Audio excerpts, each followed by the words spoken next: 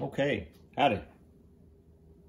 I'm not uh, not very good at this. I'm very new at this. I believe this will be the first woodworking related video I've ever done, so bear with me.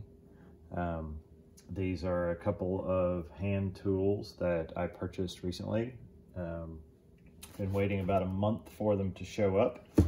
Um, this is the Luban um, bronze low angle block plane and um, and spoke shave, or at least that's what I hope is in the box.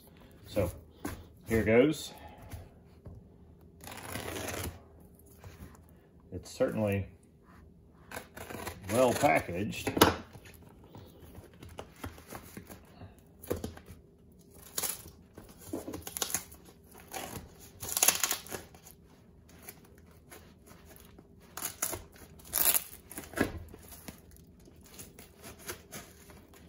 This was ordered straight from China through uh, Alibaba.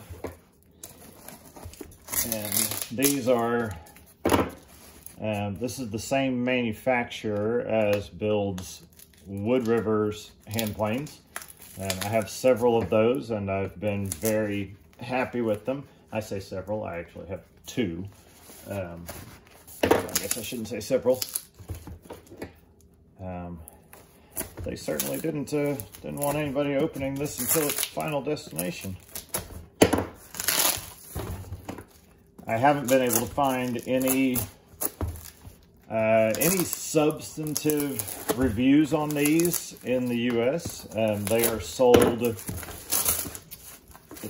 by Workshop Heaven in the U.K. and they're sold uh, really pretty widely around the world. But I understand that the deal that the manufacturer has with Wood River precludes them from being able to be sold in the United States. Um, so that's an exclusivity deal.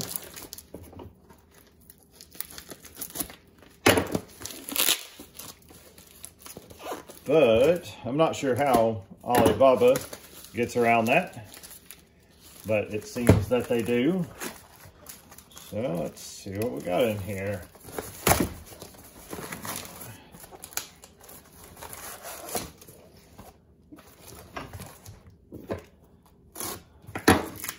Those are um, empty packing tape rolls that they use for extra packing material. Uh, I guess whatever works. There's Luban uh, Authenticity and Humanity Spoke Shave Plane. Ductile iron, bronze base and lever cap, lightly finished wood handle, high carbon tool blade, 25 degree bed angle or blade angle, and eighth inch thick. Okay, we'll start here. So I do not have um, much experience with uh, spoke shaves at all. The only one that I have is this ultra, ultra cheap, what is this, Draper.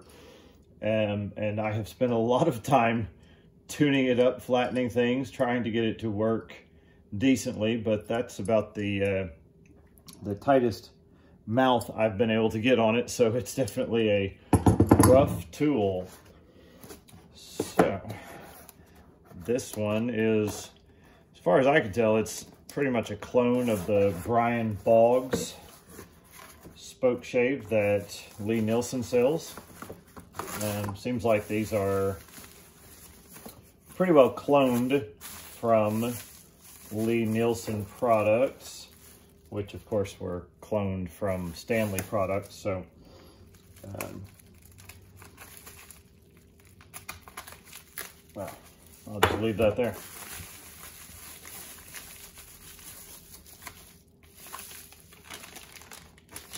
there, plastic bag that it's in. Um, very, very tightly packaged. Can't imagine there'd be any damage from that. This is supposed to have a Bubinga handle like all of the Wood River Planes do. Um,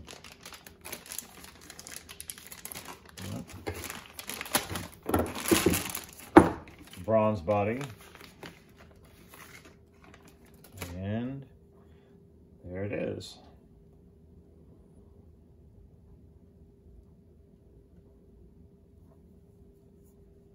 Uh, there's a little nick over here. I don't know if you can capture that there. Um, the handles are not terribly well lined up, so I'd do better if I had some better light on this. Hopefully it doesn't cast any terrible shadows. Um, not terribly well lined up with the bronze, um, but I suspect that won't affect how it works. Seem to be tightly held together. Um, pretty nice knurling. In fact, um, easier to grip than the knurling on the Wood River Planes, which is much more fine. Um, same Bubinga handles looks like. There's that. set that aside and open up the other one. This one, I um, I have a block plane that I bought at Lowe's, if I remember correctly, many, many years ago. And I've done a lot of work to it.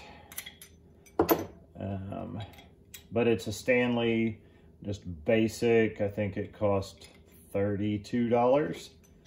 Um, standard angle, not a low angle plane but it's it's done pretty much everything I've ever asked it to. It doesn't do all that well in end grain. And it's a bit big and heavy in the hand when you're trying to do just little fine chamfers. So, this one is supposed to be pretty, pretty close to a clone of the Lie-Nielsen bronze low angle block plane, which I've admired for a long time. Just never been able to spend the money on it.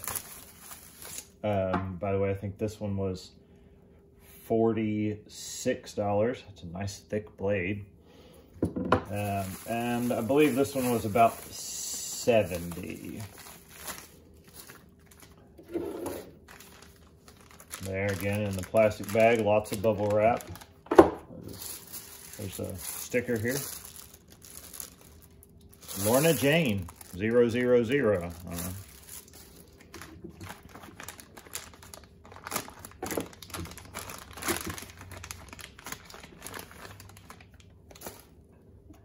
and there is the Luban bronze block plane. Again, very thick blade on that. Um, very comfortable in the hand. The steel pin there sits just ever so slightly proud. Yeah, nah, not really.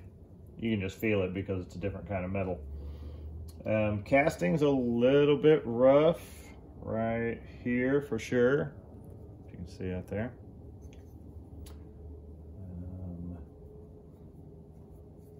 Sole looks very smooth.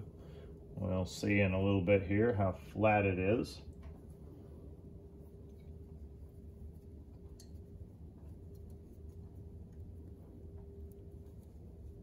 Fits the hand very well.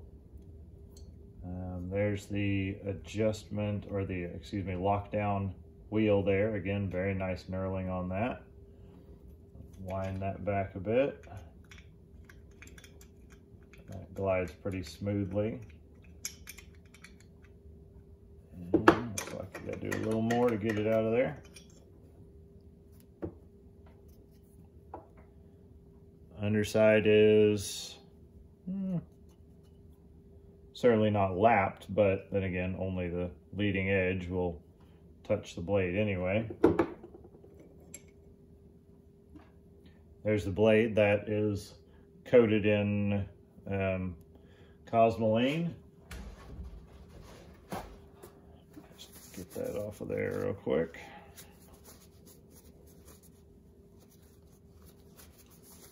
And the uh, the bronze parts are not coated in Cosmoline. I guess they don't have to worry about those rusting anyway. Looks like there's a little bit down there on the bed.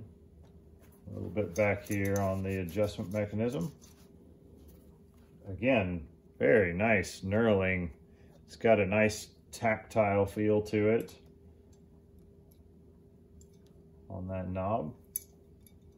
Coffin shaped, so won't be any good on a uh, shooting plane. Uh, that leading edge looks like it may be a little bit rounded. That should be fine. I don't think that'll affect its performance at all. It's not around the mouth.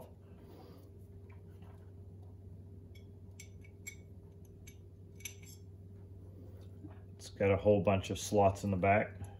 Looks like there are two registration points back here to move that forward and back.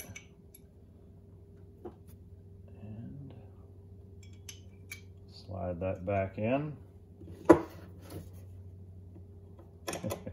Definitely not used to working to a camera, so forgive me if I'm not giving you the best angles here. This is, I really just wanted to show these because I, I haven't been able to find any local information about them at all.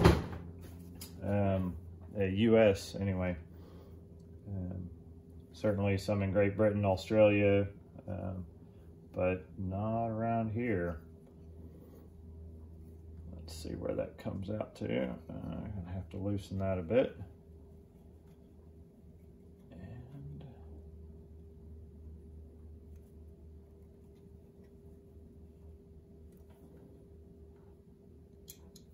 May have to move that forward another notch on the blade. Although you wouldn't think so because you would think it would be designed so that the first notch would be the one you want to grab, but I may have grabbed, I may have grabbed the first notch and not the second notch with the second spot there. Yeah, that feels better. Slide that under the bar. Tighten that back up again.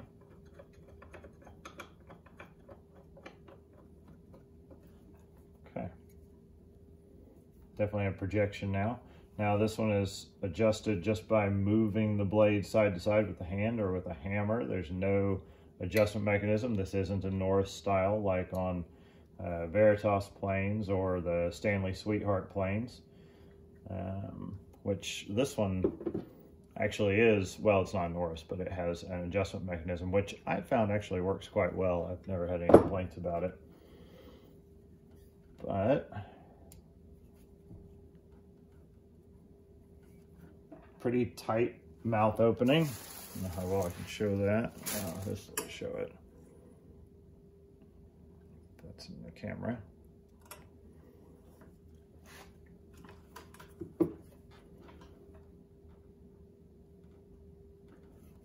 Well, since this was just an unboxing, oh, I'll go ahead and take the blade out of this one and take a look at it as well.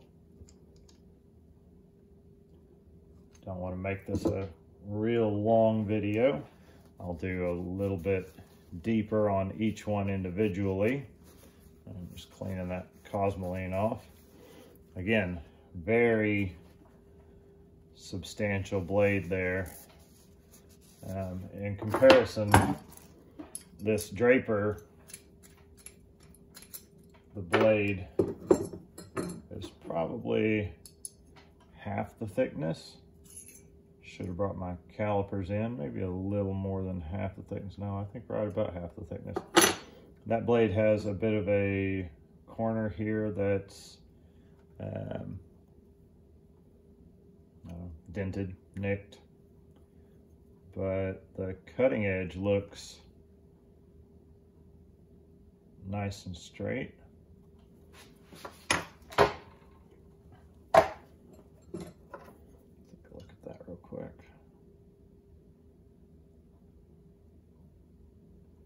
Yeah, pretty straight.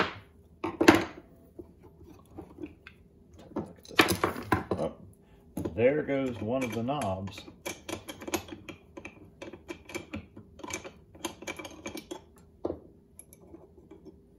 And that one I'll show you next to my Stanley blade, which is just the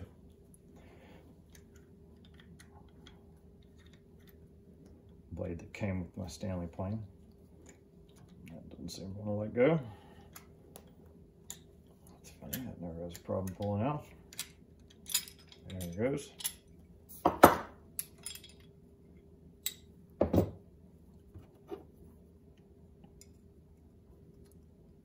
And that is a substantial difference should make that blade a lot easier to register on a honing stone. Uh, looks like this one's got a little bit of a teeny tiny nick there. Not sure if it'll focus on that. But of course we weren't expecting to be able to use it out of the box. And it is dead square as well.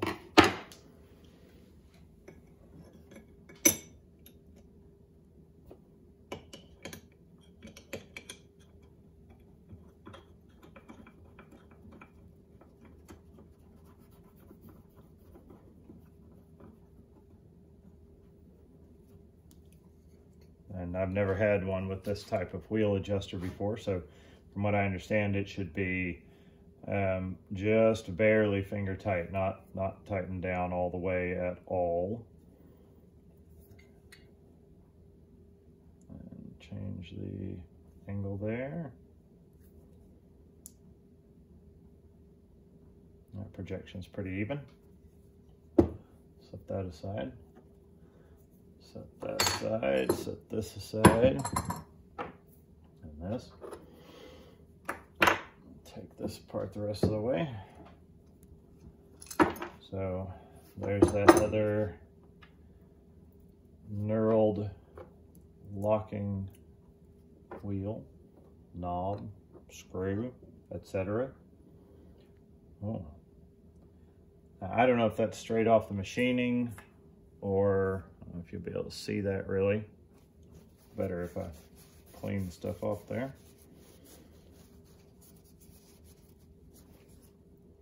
But that is very, very, very smooth. I don't think I'll have any complaints about that at all. That's definitely off of the uh, off of the machining, not off the casting. That's that's been machined flat. Of course, that's been casted, uh, cast. But that surface is machined. That surface is machined. Clean this up here. And that appears to have a bunch of undulation in the surface, but it doesn't uh, at all to the feel. And this is the flat bottom spoke shave. You can see the sanding marks on the uh, on the knobs or handles.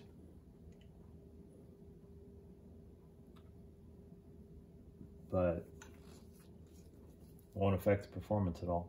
So, put that back together. Now, this will show you just how inexperienced I am with spoke shaves because I had to look at that and go, does that bevel go down or does that bevel go up? Because I'm not sure. Um, so there's an idea of how inexperienced I am with spoke shaves. And that one is supposed to be adjusted with a hammer, although I've seen a lot of people who just tap it on the bench on the corner that they want it to project more and that definitely works. Oh, yes, very light top and back and back.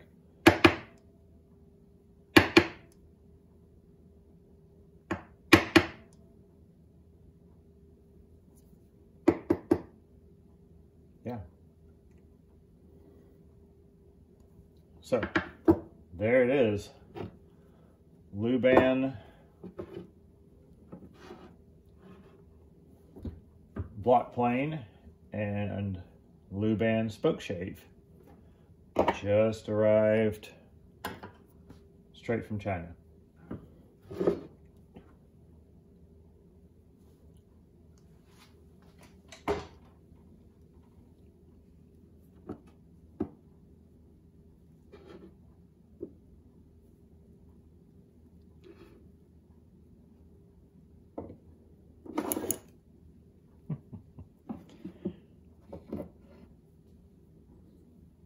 Okay, that'll be it for right now.